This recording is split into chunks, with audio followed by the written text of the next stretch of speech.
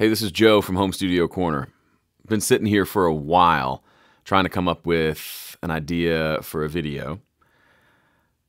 And you ever have those days where you just feel out of ideas? I've been making these videos since April 2009, and it is currently March 2022. So sometimes I feel like the ideas are all gone. Um, but I was I was thinking about John Bonham. So I recently got this guitar uh, from Fender. It's a Chris Shiflett signature Tele Deluxe. Um, Tele Deluxe meaning it's got two humbucker pickups and separate. It's it's it plays and is set up a lot like a Les Paul or a 335, which I love my 335 over there. Um, separate volume and tone for each humbucker pickup.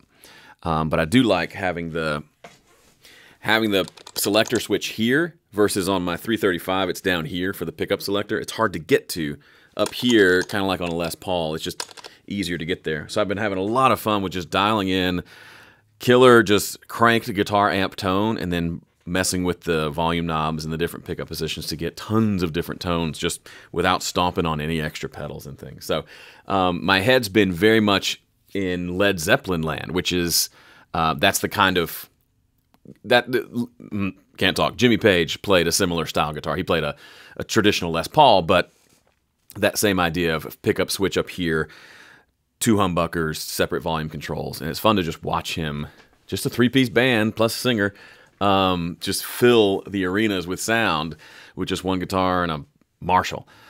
Anyway, uh, so just been on a bit of a Zeppelin kick lately and watching a bunch of videos, mostly of them live, listening to some of their records, but mostly just fascinated by just watching them play live on YouTube. There's a lot of cool footage out there.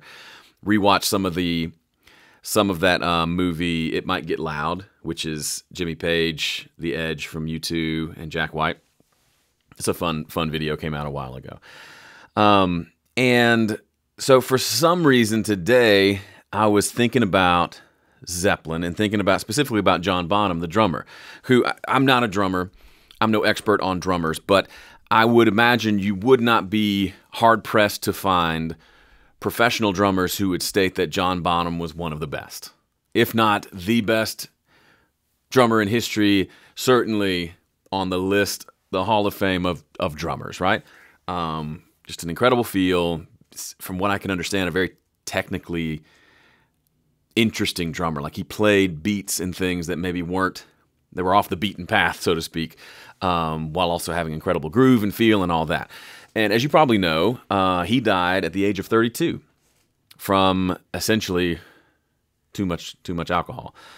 And what was interesting, I found an article, and this this may be common knowledge. This also may just be completely not true, but it was interesting, um, saying that so he died while Zeppelin was rehearsing for a North American tour. Uh, it was the first time they toured the North America, and I want to say three years. So they were rehearsing, and uh, Bonham and Robert Plant, the singer, were riding together in the car to go rehearse. And Bonham said to him, he said, I'm so, something along the lines of, I'm so tired of playing drums. Everyone's better than me. You play the drums, I'll sing. Like he was just over it. And it turns out later that night, is when he died. He had something like 40 drinks of vodka. Um, they put him to bed, propped him up with pillows, had him on his side like you're supposed to do, but somehow he ended up on his back, drowned in his own vomit. Just terrible, sad, sad story. Um, but I'm, I'm just, I was so, so fascinated and and and a little bit shaken by that idea that this John freaking Bonham died believing he wasn't good enough as a drummer. Now, maybe it was just one of those moments of imposter syndrome that we all have, but more just as as as a person who I, I want to perform well, whether it's music or video performance or job performance or income or whatever it is, and it's just there's always this drive to perform, and and some of that's very good, right? Um, I'm glad that John Bonham had the drive to perform, or maybe we would have never had Led Zeppelin, right? Um, but thinking, there's also on the other side of that, there's that imposter syndrome, that idea that so many people are better than me at fill in the blank, therefore I'm worthless. And just seeing someone who is so obviously talented also feel those same things was such an interesting kind of thought exercise for me. Um, to be reminded that we're all just we're all just little kids, just trying to get some approval, trying to find some meaning, uh, and as musicians trying to create something. And it made me it made me think. Aside from being just really sad, it's just a sad story. Um, it also makes me it makes me want to encourage both you and I to just make the art we were meant to make. Right? If if my next album ends up selling millions of copies and I win a Grammy, that'd be cool. It's probably not going to happen. But I still want to make that that album. I still want to make that music. I, I feel like I was one of the things I was made to do was to create good music. And it's not going to like or or this YouTube channel. There are plenty of people with better YouTube channels than mine. Um, one option is to pack it up, call it a day. I'll never be I'll never have 10 million subscribers, so why bother? Or just keep making what I was made to make and let the chips fall where they may.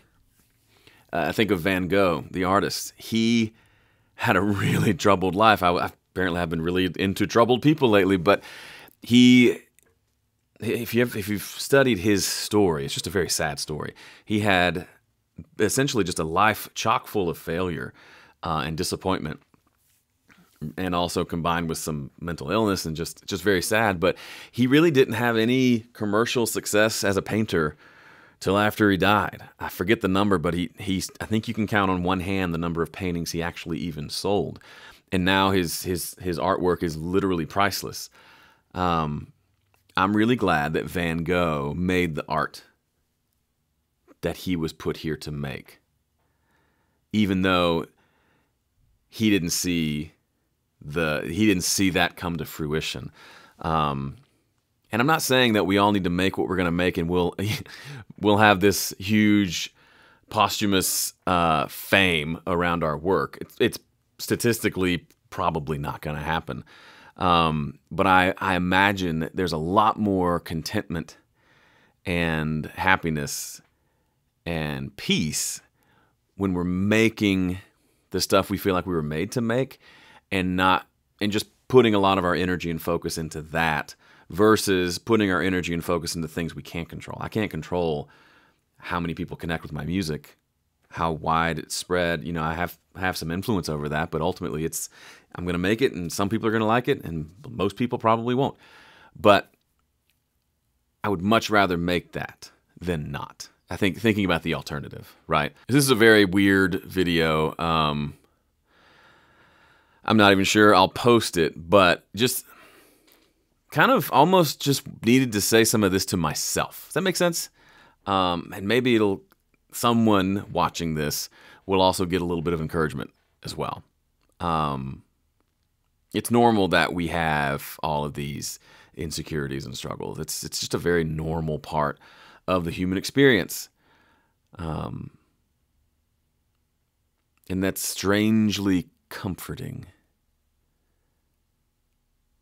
I don't know. Don't even know how to wrap up this video. Uh, thank you. You made it to the end. I appreciate it. Um, leave a comment. What do you want to make this year? Not in the sense of, oh, I got to make this to prove that I'm worth anything. What's just if if things fell perfectly in place for you for this this year, what will you have made by the end of it? Um, what do you want to make? Like, what do you want to make? Not what you think you should make, not what everyone expects you to make. What's something you want to make? I'd love to hear about it. For me, um, I've been in the process just the last couple of months of writing songs not just by myself, but with Tim Horsley and Joel Bazaire, two dear friends, drummer and bass player. And Joel's also my brother in law. Um, and it has been such a healing, um, just a beautiful experience to literally sit in a room with them and write music and lyrics together. Um, it, there's this vulnerability there, and it turns out we've written some stuff that I really like. I'm excited to share with you at some point. Um, but we've also, you know, we're also nowhere close to being ready to do an album, and the songs may not be amazing. But boy, has it been such a such a life-giving experience just to especially coming out of a pandemic, coming out of just a hard couple of years for everybody, um, to get in a room and to do some creating. There's if we never release or record or put anything out, it will have been worth it just to express ourselves, even in a room with just the three of us, making some music, singing, playing, creating. Um, it's really fun. I was reminded of that. We just had uh, a round of live streams for my VIP members, and the challenge for the last couple months has been to write a bunch of songs. And we got to just listen to all the songs that they wrote. Uh, and it was just really encouraging. Um, made me really thankful. So um, I want to encourage you. I'm not asking you for anything. You, you can leave a comment if you want, but like legitimately, I just want to encourage you to think about what do you want to make this year? Do you want to make anything this year? Or is this maybe a year where you're going to let things lie fallow and just rest because it's been a hard couple of years? Um, or maybe this is the year you finally make that thing you've been thinking about. Uh, no pressure.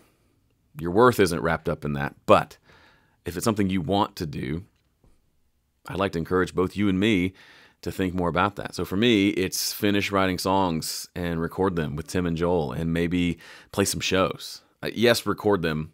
Yes, do an EP or an album, but um, playing some shows too would just be would just be really fun. I'd really like that. I'd like to share that music with people in like the real world, especially after the last few years. So I've rambled for way too long. I'm having second and third thoughts about even posting this video, but thanks for listening. See ya.